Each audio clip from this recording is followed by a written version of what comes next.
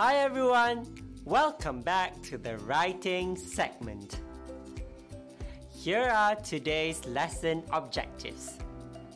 To understand report writing, learn different types of report, to learn how to write a report. We have now come to the end of the year.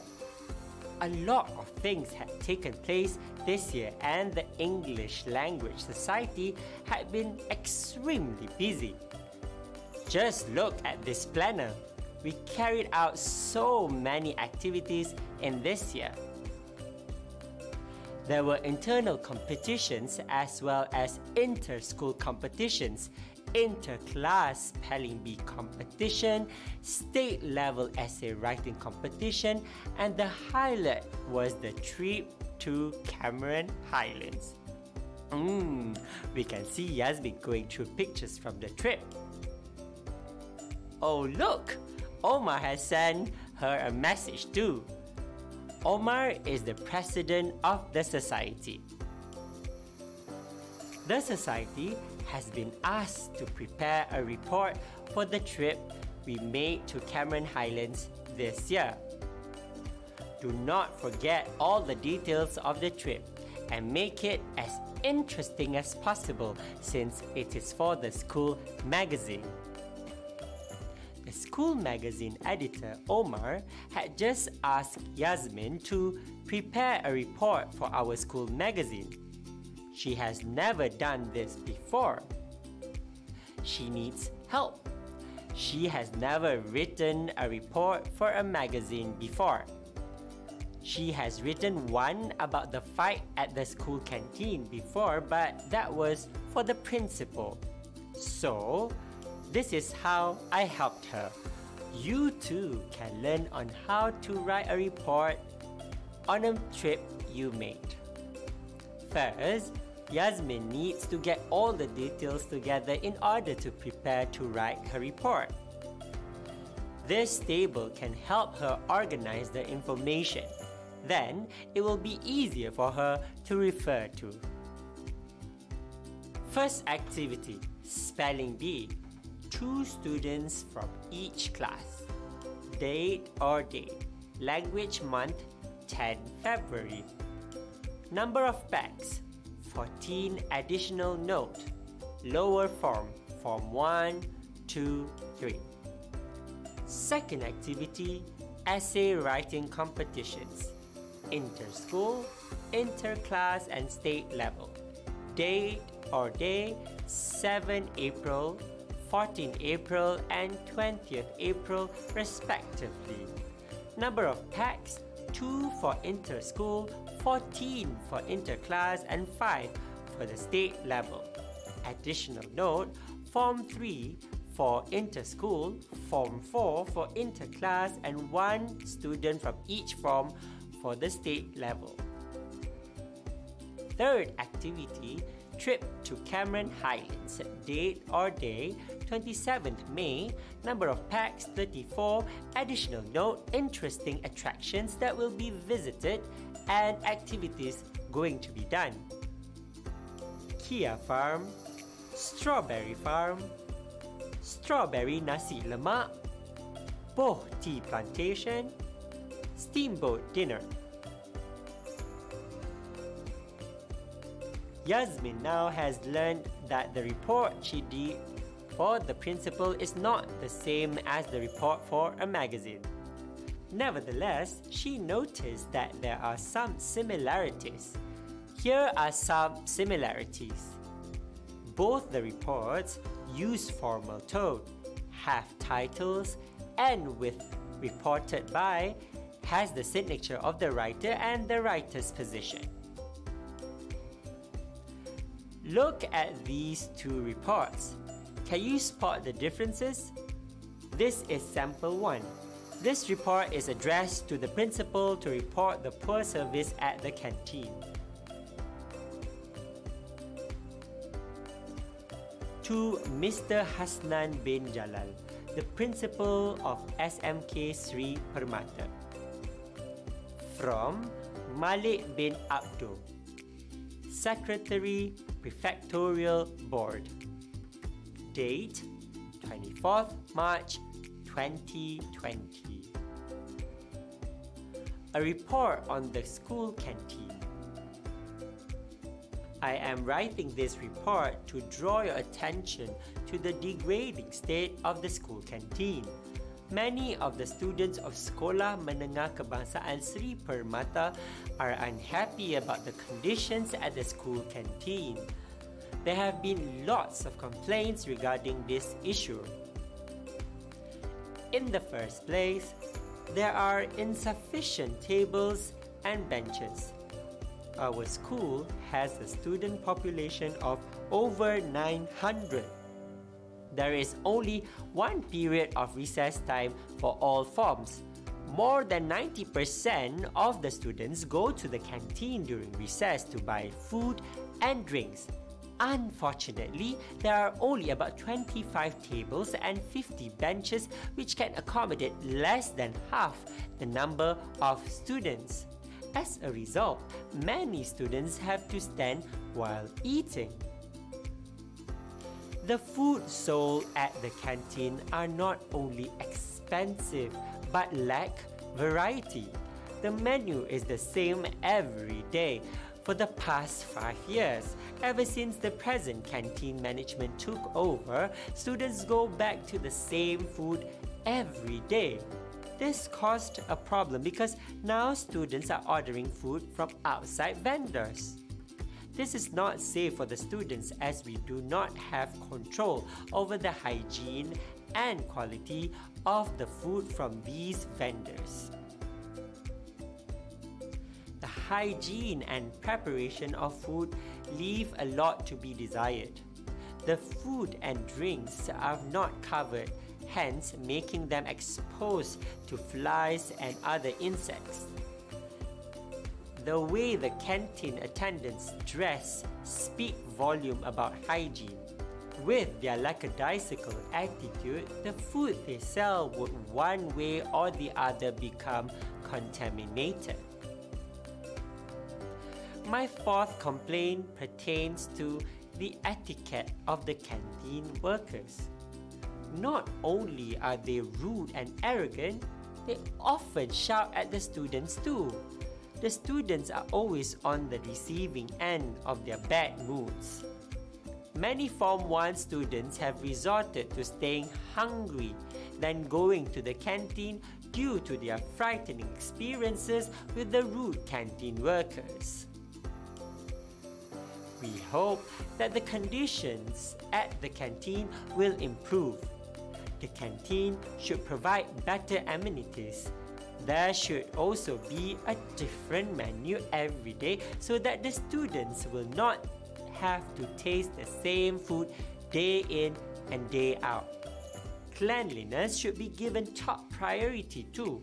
Perhaps the school could consider changing the canteen operator and get a better operator to run it. We hope that you will look into our complaints and take immediate steps to remedy the situation. The students are prepared to boycott the canteen if their complaints go unheeded.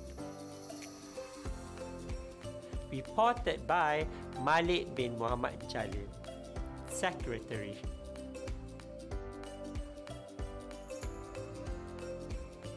This report is addressed to the principal. That is why you can see the name of the principal at the beginning of the report.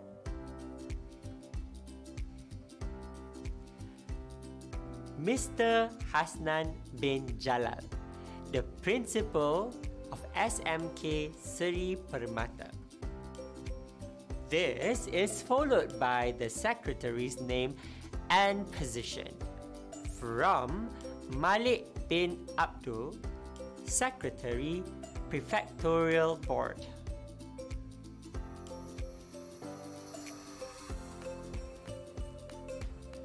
The date is written after the details of the writer. Day 24th March 2020. It has a title. What is the title? Can you remember? Yes, a report on the school canteen. Underline the title and write the title in the middle of the line. Did you notice that both reports are written in formal structures and tone? How do we know if we are writing formal structures? Can you still recall what your teacher taught you? I mean, the canteen is disgusting and I almost puke at the trash dump near the bin. What do you think of this sentence? It sounds too casual and conversational, right? The structure may be correct, but the tone and choice of words are inappropriate. You need to sound serious in your report.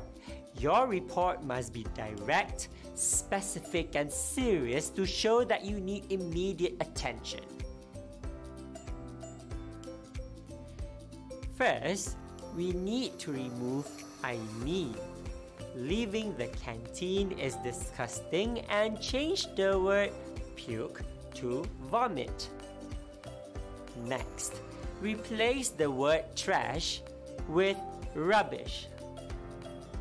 You see, the choice of words determine the tone that we use in our report. The phrase I mean will not be suitable here. Look at sample 2. This sample is written for the school magazine. It is also a report, but the purpose is different. This report tells you the activities carried out by the Society for the year 2020. As you can see, the purpose of the report will determine the layout of your report. The layout usually accounts for the format marks in the exam too. This report is not addressed to anyone in particular, hence, we do not have anyone's name at the beginning of the report.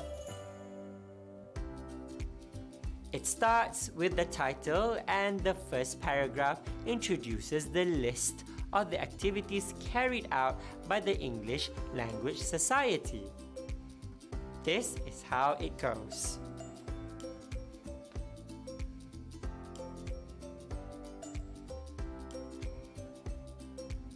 The English Language Society Committee for the year 2020 has successfully carried out the activities lined up for this year's calendar.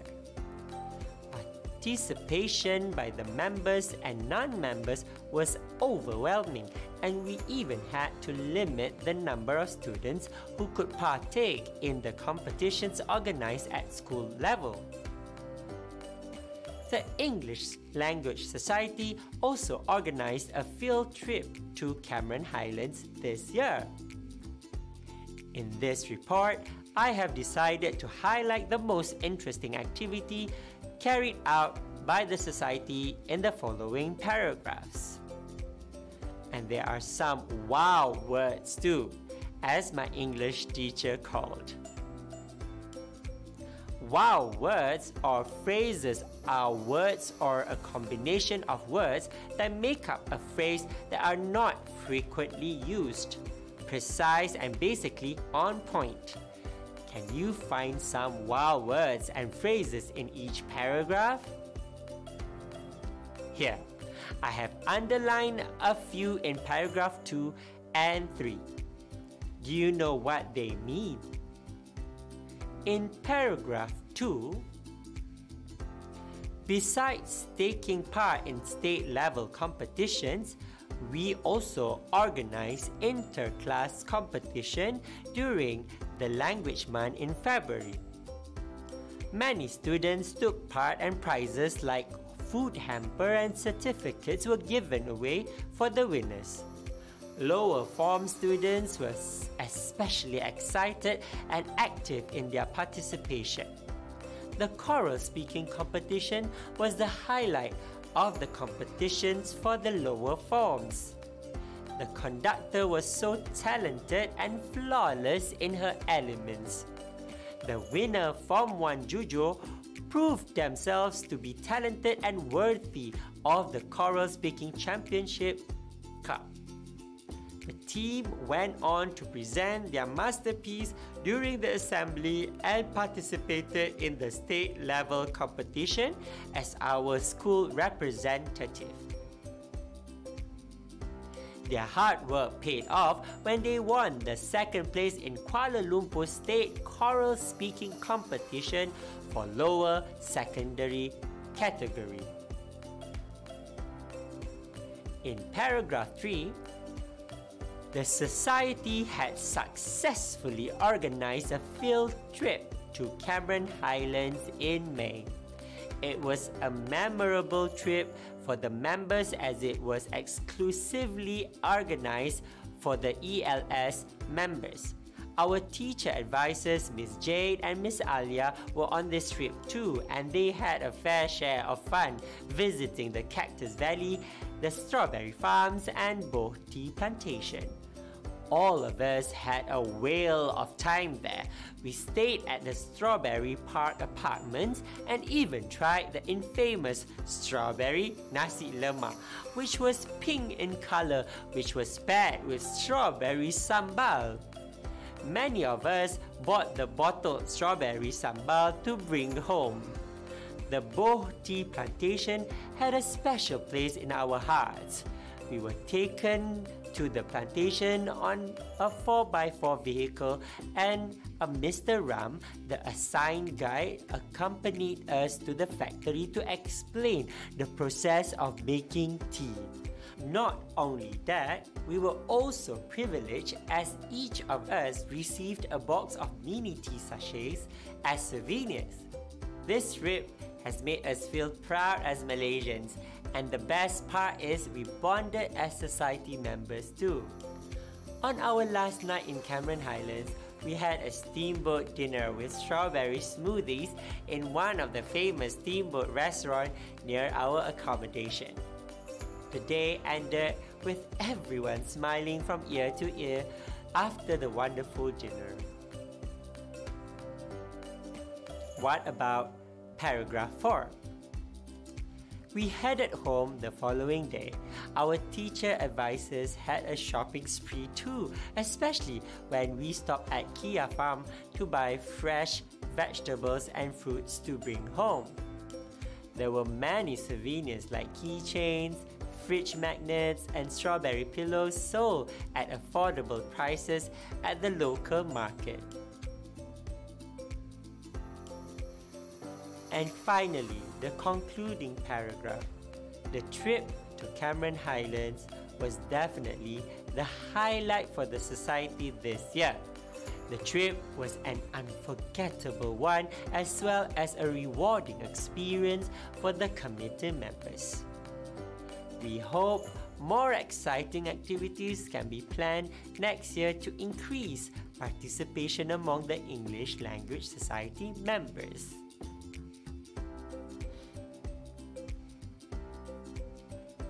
Let us recap what goes into this report, friends. 1. Title 2. Introduction, list of activities. 3.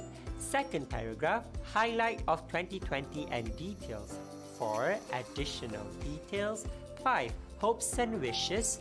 6. Signatory, reported by signature, name, position.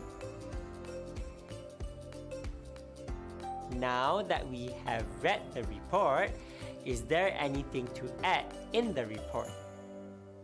Yes, I think you may want to add the number of the students who went on the trip to Cameron Highlands. This will add details to your report. The report is good as it contains information and you provided specific details. But you may need to be careful with the tenses. A report must be written in the simple past tense form. Let's look at the report again. In paragraph 1, these are the details that have been included. Members, and non-members are mentioned. How many members and non-members participated? 40 members and 30 non-members? How many competitions were organized? The competition was held at school level. We managed to organize 10 competitions during the language month. We entered 4 state level competitions and 1 national level competition. Add these details to beef up your report. In paragraph 2, details were added. This deserves a merit. Look at the underlined words and phrases. Look at the details which I have underlined. It really makes a difference when you have details and elaborations in your report.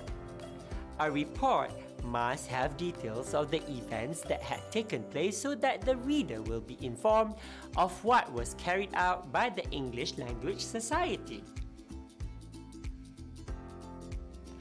If the report is too brief and written too short and lack details, then the reader will not know what the society has done.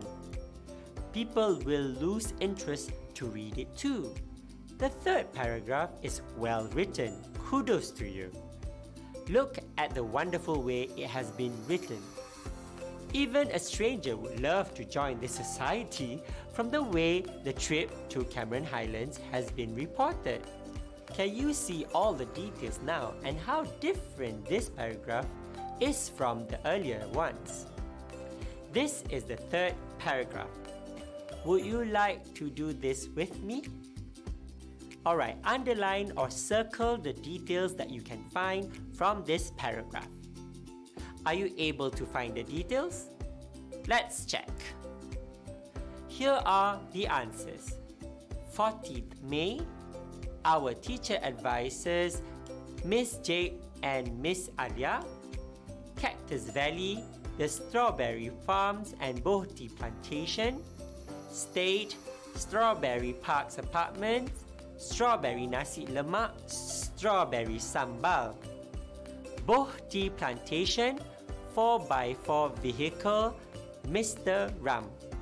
Process of making tea, received a box of mini tea sachets as souvenirs.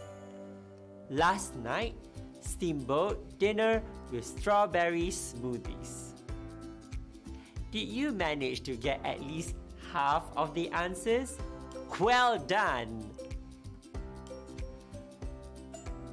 Please go through your report again and do the necessary changes to your draft. Add more information in the earlier paragraphs. Would you like to do this with me? I am going to add more details. You will see them on your screen. All the details have definitely changed this paragraph. The added information like the number of competitions, the dates of the competitions, number of prizes and certificates, the name of the conductor, the day of the assembly. I am so happy with our edited paragraph. This work is definitely more impressive. Let's see. Besides taking part in state level competition, we also organized five inter-class competitions during the language month on 20th February. 88 students took part and prizes like 20 food hampers and 88 certificates were given away to the winners and participants. Lower form students were especially excited and active in their participation. The choral speaking competition was the highlight of the competition for the lower forms. The conductor from Jujo, Julia Udon, was so talented and flawless in her elements. All the 30 students from Form 1 Jujo proved themselves to be talented and worthy of the Choral Speaking Championship Cup. Team went on to present their masterpiece on the following Monday assembly and participated in the state level competition as our school representative. Their hard work paid off when they won the second place in Kuala Lumpur State Choral Speaking Competition for lower secondary category which was held on 15th March 2020. Wow, isn't that remarkable? You may want to compile your own report and show it to your teacher. Now, Yasmin's report has been published. She has added all the details and corrected her report so that now it is very impressive. Here are some tips to remind ourselves when we write a report for a school magazine.